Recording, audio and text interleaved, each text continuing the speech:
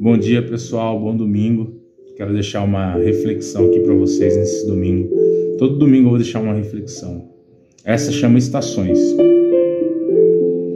Mais ou menos assim, ó. Hoje quero conversar sobre o tempo, sobre as estações, sobre esses dois senhores que também impulsionam nossos corações. O passado, o passado é memória que persegue a gente no presente, que faz a gente relembrar de tanto de vitórias quanto de impassos inconsequentes. O presente, se é inteligente, enfrenta tudo, resolve, pronto, segue em frente. Sabendo que o futuro é o fruto em uma árvore ausente. A vida é assim: primavera, verão, outono, e por sermos porosos, interno e externo, também enfrentaremos os nossos invernos. Alguns dizem que somos feitos do que comemos, outros dizem que somos frutos do que escolhemos, e outros pensam que apenas colhemos.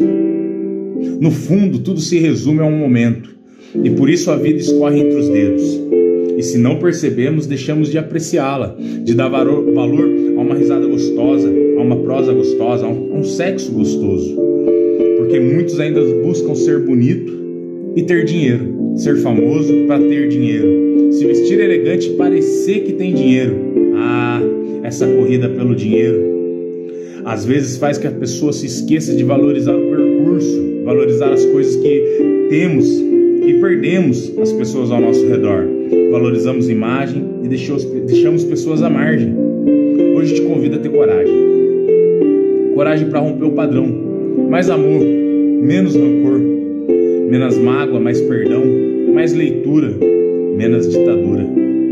Pois a vida é essa grande avenida e ela acontece agora. Portanto, não deixe para melhorar amanhã o que você pode melhorar hoje. Só você pode mudar o que se tem para mudar. O tempo, o tempo é bom. Ele sempre te convida a sonhar. Bom domingo, muita luz, muita fé, muita axé no seu dia e para toda a sua família.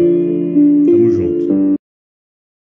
A, a função uh -huh. de cometa rasante, brilho constante, os rios mais distantes, de roupa elegante. Eu vou pra rua, a vida é um instante. Pra rua, a vida é instante. Cometa rasante, brilho constante,